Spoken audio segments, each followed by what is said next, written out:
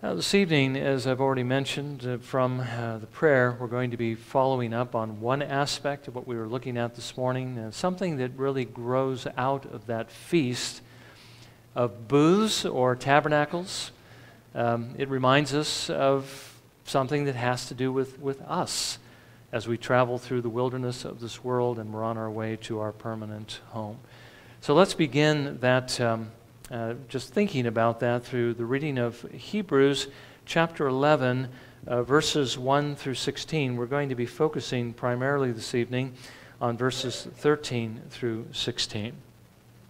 But again, reminds us of the importance of faith and believing what God says and trusting His Son and trusting Him at every point in life to do things as He calls us to do them. Uh, the author to the Hebrews writes this Now faith is the assurance of things hoped for, the conviction of things not seen. For by it the men of old gained approval. By faith we understand that the worlds were prepared by the Word of God, so that what is seen was not made out of things which are visible. By faith, Abel offered to God a better sacrifice than Cain, through which he obtained the testimony that he was righteous, God testifying about his gifts. And through faith, though he is dead, he still speaks. By faith, Enoch was taken up so that he would not see death, and he was not found because God took him up. For he obtained the witness that before his being taken up, he was pleasing to God.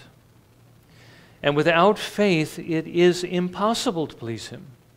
For he who comes to God must believe that He is, and that He is a rewarder of those who seek Him.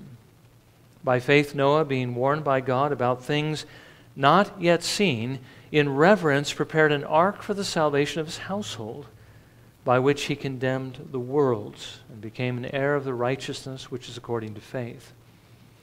By faith, Abraham, when he was called, obeyed, going out to a place which he was to receive for an inheritance, and he went out, not knowing where he was going.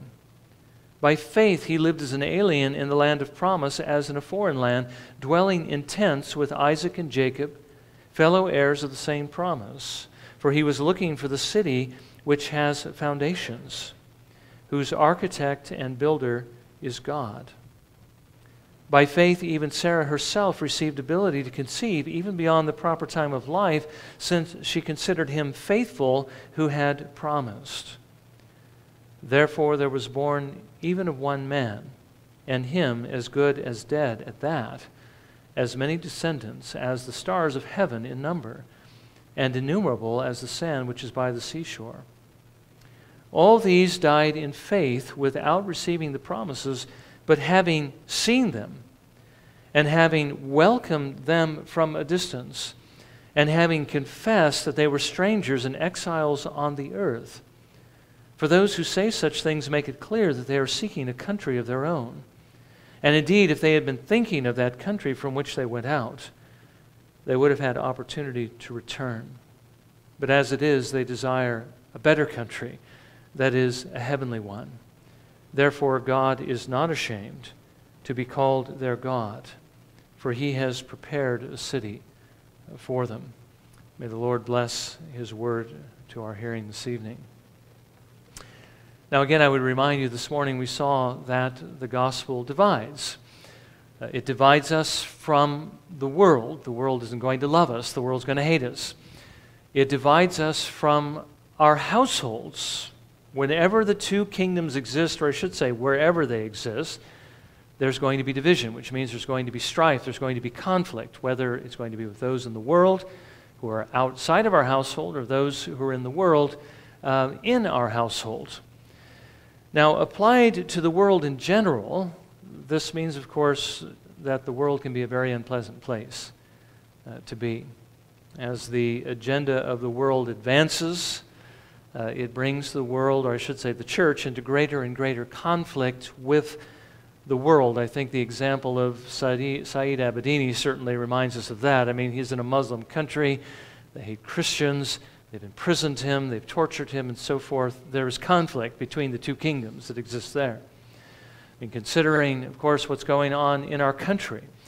I think, uh, especially as you read uh, conservative newsletters that bring these things to our attention, uh, Christians are being more and more persecuted uh, for their faith. I mean, consider those that own Christian businesses and how they're being constantly sued uh, because they're declining to support homosexual marriage, whether it be as bakers not wanting to bake cakes or photographers not wanting to take pictures of things they cannot agree with. And when I say homosexual marriages, you understand I mean marriages in, in uh, quotation marks because it's not a genuine marriage.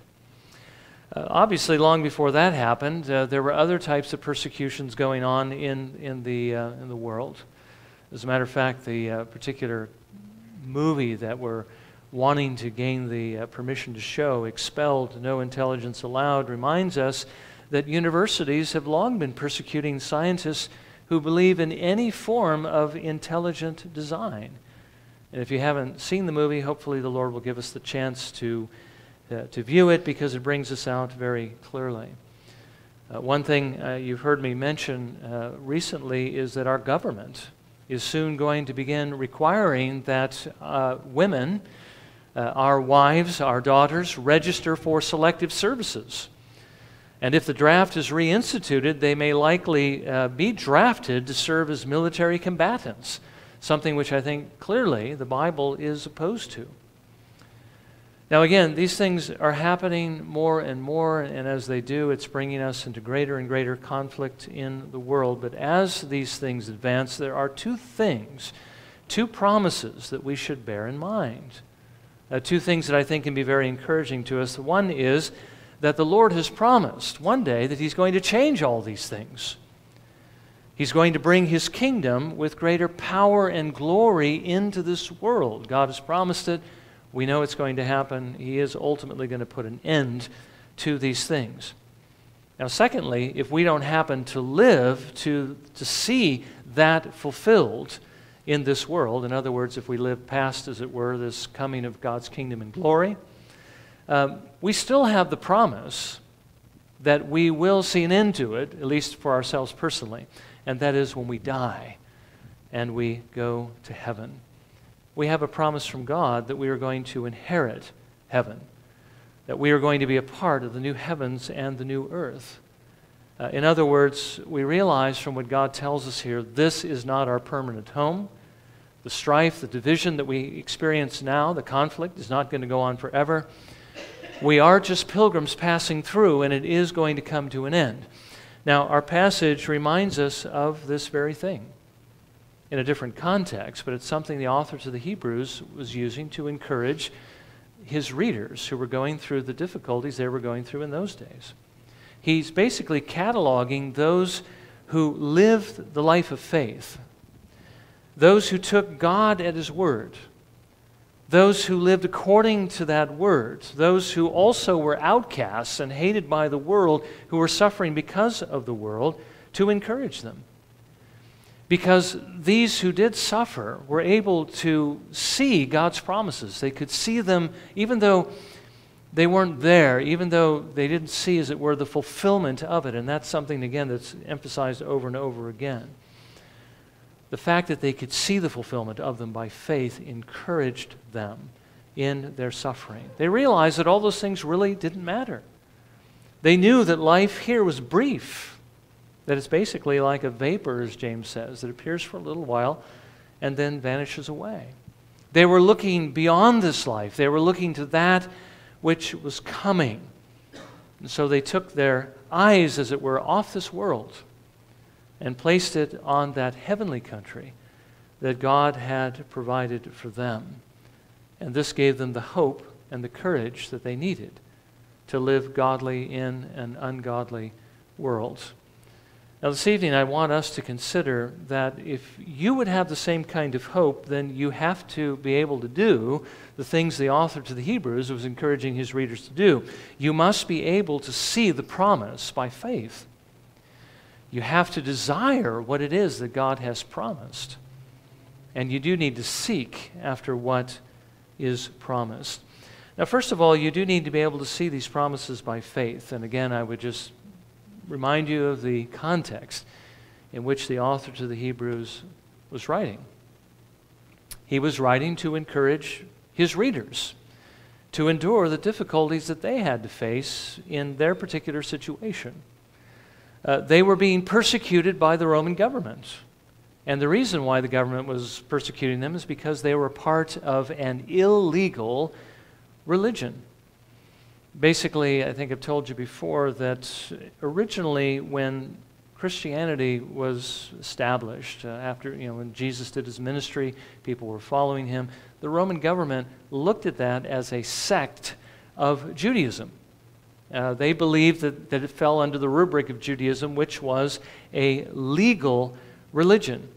But as they saw the Jews persecuting the Christians, they realized that this was a new religion. It was not covered by, you know, that dispensation, as it were, that they gave to the Jewish religion, one, by the way, which was won at the cost of a great deal of Jewish blood.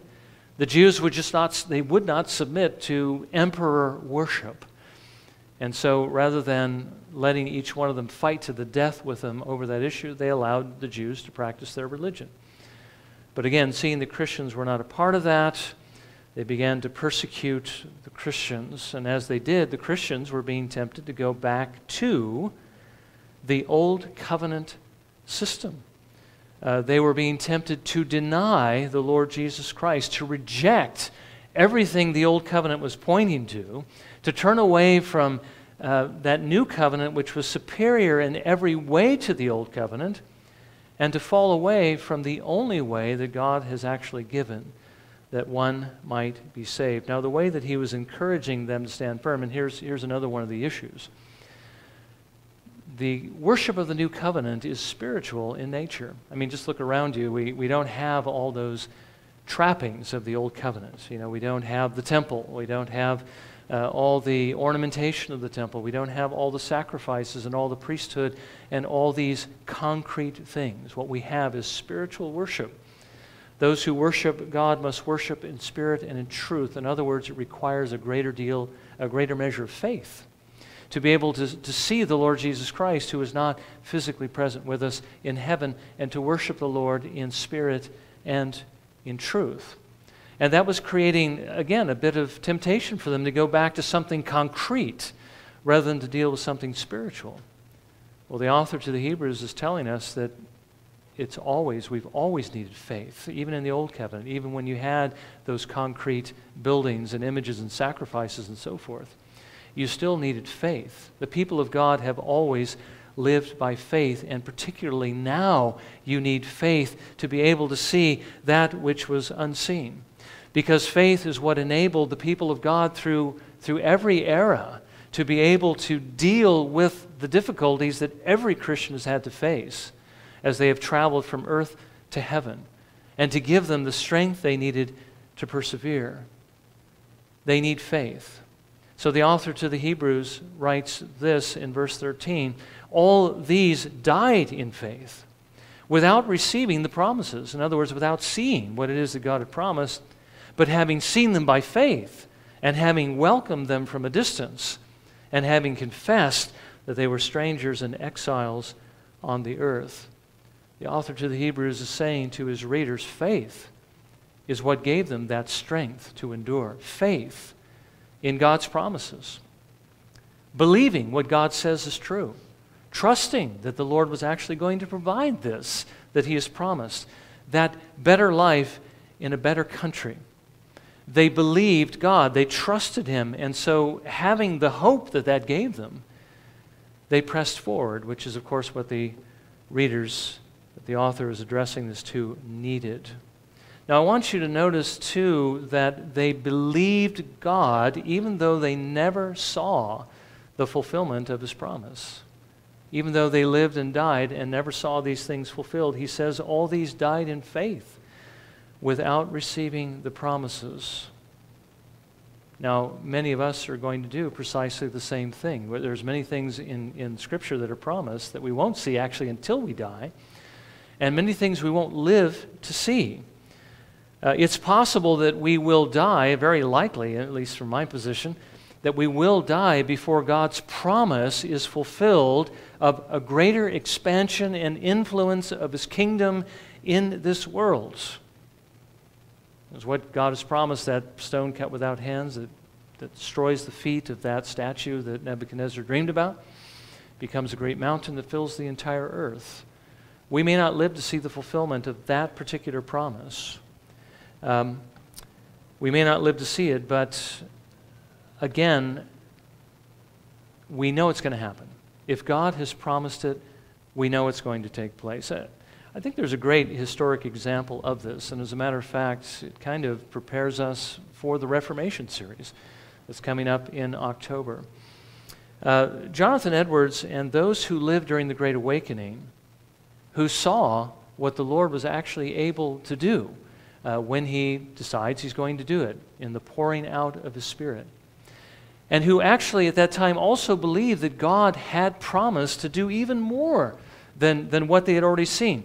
And you know, Edwards and, and these individuals who were praying and seeking God for these greater things actually saw at least two great revivals. Well, they prayed, and they prayed that God would send even more of these revivals. They prayed believing that God was going to answer these prayers, but they did not see any further answers to these prayers. Now, does that mean that, you know, basically God didn't fulfill his word?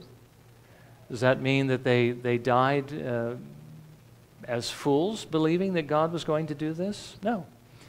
They died in faith. Even though they didn't receive what God has promised, it really didn't matter because they knew that God was going to answer those prayers because they were praying according to his will. They saw through the eyes of faith. Now, basically, they didn't see what, how God answered those prayers, but God did answer them in, well, in the next century, basically, in the great missionary movement, when the Lord, as it were, stirred up the hearts of his people to begin to think about all those lost souls and all those differing nations on earth that would die and, and be punished for their sins eternally if they did not receive the gospel. So basically, they believed and they looked to God and they sought God and they died in faith without receiving the promises, at least those particular promises, but they still believed that God was able to do it. And that's exactly what we need to do. We need to believe that what God says is true, even if we never live to see it fulfilled. Now, I told you this morning that we were you know, going to come back to this example of the uh, Feast of Booths because I think it's a wonderful example of how the Lord calls us to live during this time in faith of something greater. This morning we saw Jesus' brothers encouraging him to go up to Judea to this Feast of Booths, this Feast of Tabernacles. We didn't really have time to look at that feast, but I think it's a great illustration of what we're talking about here. So I thought it would be helpful to read about its institution in Leviticus 23, verses 34 through 44. The Lord said through Moses, Speak to the sons of Israel, saying, On the 15th of this seven, seventh month is, a, is the feast of booths for seven days to the Lord. On the first day is a holy convocation. You shall do no laborious work of any kind. For seven days you shall present an offering by fire to the Lord. On the eighth day you shall have a holy convocation and present an offering by fire to the Lord. It is an assembly. You shall not do any laborious work. These are the appointed times of the Lord, which you shall proclaim as holy convocations, to present offerings by fire to the Lord, burnt offerings and grain offerings sacrifices and drink offerings, each day's matter on its own day, besides those of the Sabbaths of the, of the Lord, and besides your gifts, and besides all your votive and freewill offerings which you give to the Lord.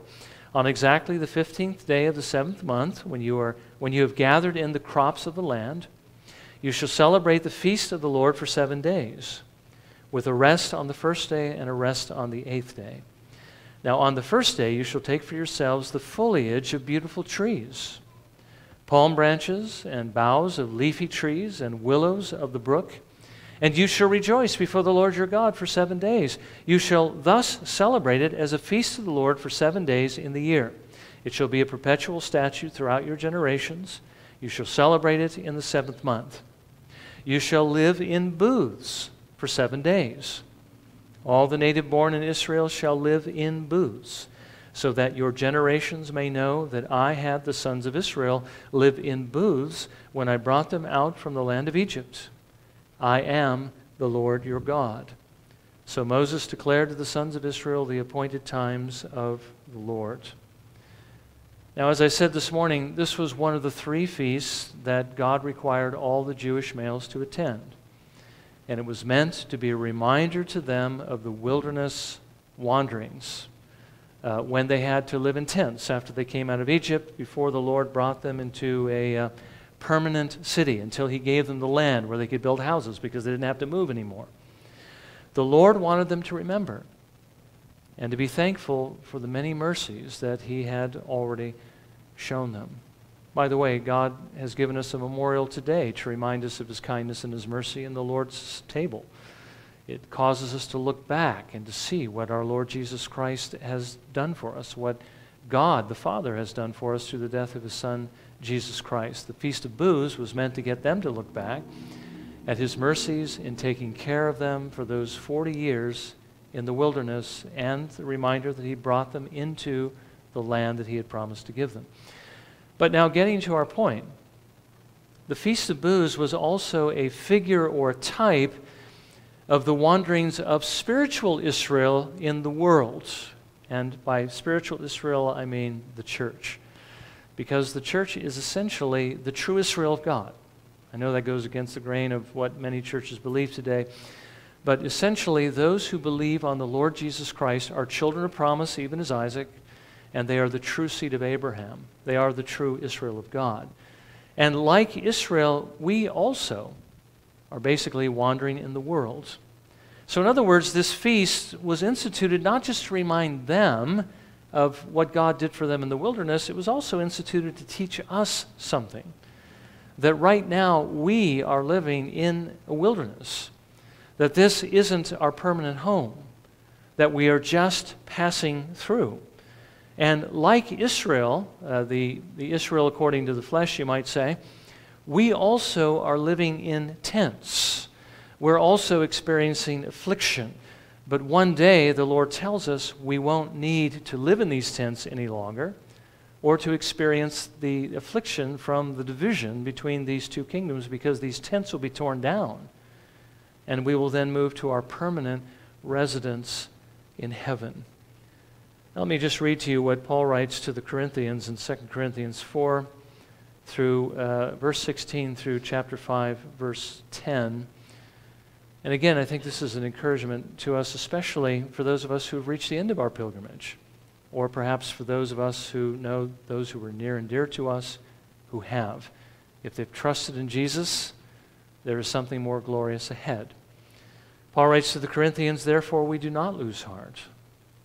But though our outer man is decaying, yet our inner man is being renewed day by day. For momentary light affliction is producing for us an eternal weight of glory far beyond all comparison.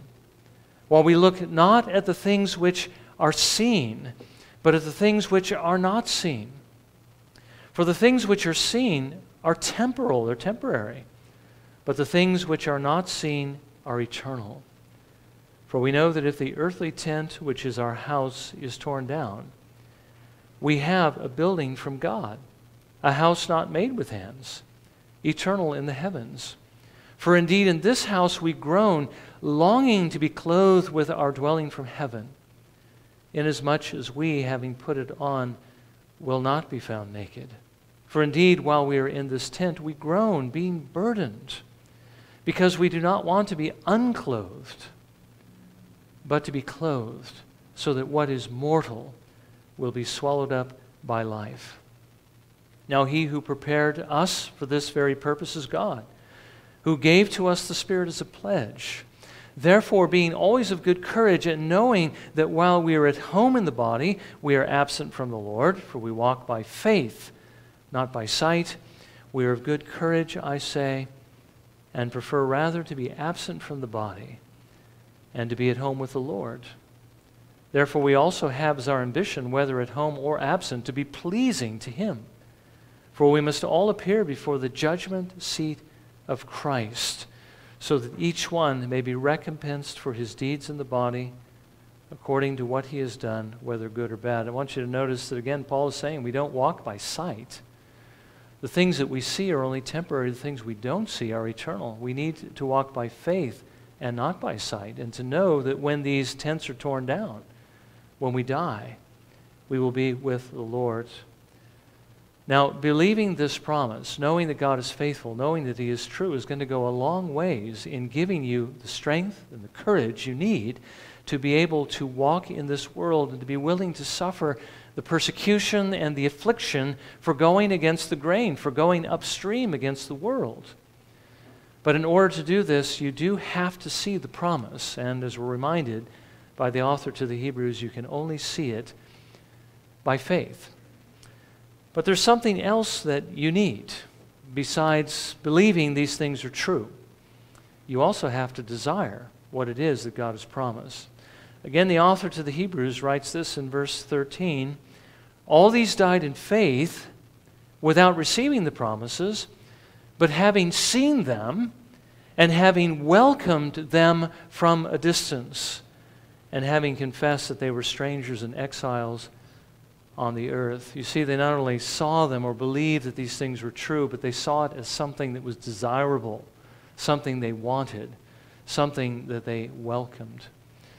Now, the author to the Hebrews is telling us about the character of saving faith. He's, he's not talking about just faith in general. And I think we can understand what he is saying more clearly when we review what it is that faith is you know, really made up of. It really does have three parts. There has to be content to this faith, the things that we are to believe. There has to be, in a sense, or the belief that the things that we read about in the scriptures are actually true.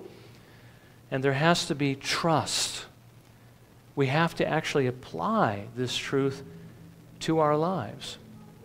It's possible to have assent, to believe the, the, the truth of the things the Bible says without trust.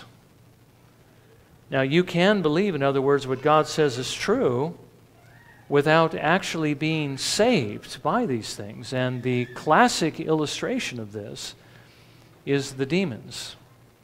What I'd like to do is read for you James chapter 2, verses 18 through 20, to contrast these two types of faith, because again, it's, it's, we need more than just belief that these things are true. We need to welcome them and we need to apply them. James writes, beginning in verse 18, but someone may well say, You have faith, and I have works. Show me your faith without the works, and I will show you my faith by my works. You believe that God is one. You do well. The demons also believe and shudder. But are you willing to recognize, you foolish fellow, that faith without works is useless? James here is asking the question what is the difference between demonic faith and saving faith? He says both believe the truth, both may even have you know, correct belief. They may believe the right things. The difference is only one of them actually applies that truth to life. Saving faith uh, bears the fruit of good works because they, well, not just believe the truth, but they love that truth. You see, it moves from the mind to the body, or basically to the actions. It goes beyond thoughts. It reaches our affections, our hearts, and it influences the way we live. The demons believe, they shudder, but they don't obey. They don't submit to what God says. They don't live according to that, you know, that law that He has given to us.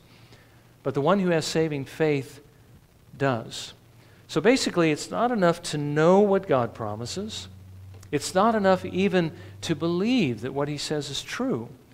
You also need to desire it to the point where you will do what we see next. And basically, the final point is you need to seek after what God has promised. You need to believe it's true, you need to desire it, and you need to seek it. And that's what we see in verses 13 through 16. Now, again, the author writes, All these died in faith without receiving the promises, but having seen them and having welcomed them from a distance, and having confessed that they were strangers and exiles on the earth. For those who say such things make it clear that they are seeking a country of their own. And indeed, if they had been thinking of that country from which they went out, they would have had opportunity to return. But as it is, they desire a better country, that is, a heavenly one. Therefore, God is not ashamed to be called their God, for he has prepared a city for them. So, what will be true of you if you have saving faith, if you have the kind of faith that the author of the Hebrews is actually describing here? Uh, the kind that will give you that motivation, that encouragement that you need in order to walk through this world and endure whatever you have to endure to make it to heaven. Well, knowing what God promises and believing it to be true, you will apply that truth. You will live it. You'll experience it in your own life. Uh, you'll seek to do what it is that God calls you to do. Now, the first thing he says you will do is that you will confess or you will accept the fact that you are strangers and exiles on this earth. In other words, you're not citizens of this world, you're from another country. You don't belong here. This isn't your home.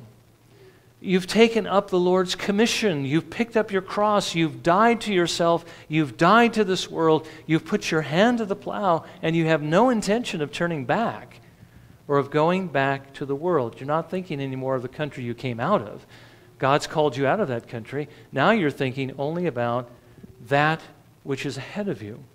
You will seek what God has promised that better country, the country you now belong to, the country you are now a citizen of, that heavenly country. The things that are above and not the things that are below. Now, again, speaking more plainly, basically, you will no longer live for this world. You'll no longer live for self, for self glory. You'll no longer live for your own pleasure in this world, but you will find your pleasure in seeking God's glory. You will live as we saw our Lord Jesus Christ live this morning as a servant of God. You'll follow that example and you will use your time to serve, keeping your eyes at all times fixed upon heaven, again, encouraging yourself in the fact that one day you will actually be there. Now, we read in this text that if you are willing to do this, if you're willing to believe God's promise, if you're willing to welcome it, and you're willing to actually apply it to your life, the Lord says that He will not be ashamed to be called your God. Now, that does imply that He is ashamed when those who profess to know Him, uh, but really are of the world, that He is ashamed when they call Him their God. He's ashamed because of the way they represent him. They say that they know him, but they live in as though basically they deny him. By their, by their lives, they deny what they are saying with their lips. Somebody who does that, God sees that, God is ashamed. But, he says, if you turn your back on this world, and if you set your face towards heaven, if you turn from your sins, and you live the life He calls you to live, God will be delighted to be called your God. If that is what you're doing, if that's what you're willing to do, then you can know that God has prepared a city for you, that it belongs to you, heaven, the heavenly Jerusalem. The new heavens and the new earth that will come through the work of Christ will come for you. And of course, if you know that you have such a heavenly country, that is waiting for you after this life. It will give to you the hope that you need to live the life that He calls you to live in this ungodly world in the same way that this encouragement the author to the Hebrews was giving to his readers would give them the courage to continue to profess the Lord Jesus Christ in the face of imminent persecution from the Roman Empire you will have the courage, you will have the strength, you will have the hope that you need to live in this ungodly world, even though you know that you're going to have to suffer for it. So I'll ask you this question this evening Do you have this hope? I mean, do you have this kind of faith that goes beyond believing to application? Do you believe the promises of God and are they welcome to you? Do you really want to inherit that heavenly kingdom? The Bible says you can only have it if you believe God's promise of salvation in Jesus Christ. If you desire to have this one, the gospel reveals the Lord Jesus Christ as your Lord and your Savior. And if you actually have a faith that goes beyond the faith of demons, not just believing these things are true, but if you actually apply that to your life, if you actually turn from your sins and trust in Him, if you do that, you can know that this heavenly country is yours and it will give you that hope to endure what you must endure because of the divisions in this world. If you haven't done so, I would encourage you to do so now, that you might trust Jesus and that you might receive this hope and the knowledge that you are safe from God's judgment. Well, let's, uh, let's bow for a moment of prayer and let's ask the Lord to apply His word as we need to hear it this evening.